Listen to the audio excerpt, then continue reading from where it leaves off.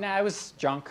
Yeah, like It- Yeah, it was just, air canister from anything and work. it, uh, it, a friend of mine works in recycling and he had, it's just out of some like industrial machinery. And did you need to do anything to the plug in the house or just a straight? No, one thing I did do though, um, in my garage, I upgraded my outlet there from a 15 amp circuit breaker to a 20 amp circuit breaker because the the charger used usually just like a little bit more than a 15 amp circuit, like right when you'd plug it in.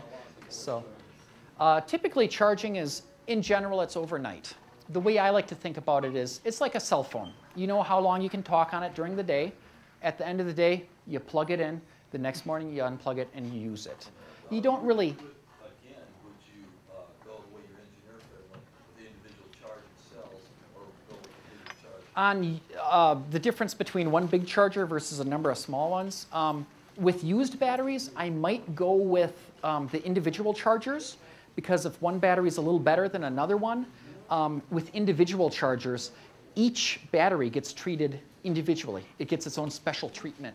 Whereas if one battery is not so good and you're using a series string charger, um, it, that one cell is not going to be as happy. It's going to get not charged enough, or the other ones are going to get overcharged, or, or that sort of a thing. Ben, Ben, Uh, Ben. Thank you.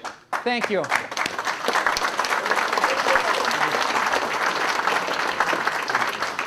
I'm, I'm trying to teach other people how to do this sort of thing. I built my own car for about 1300 bucks, and I'm sure you guys all can too. I have an instructional video. It's two hours of me going through every darn thing how to make this. The second disc has web videos, 600 photographs, a lot of information in there.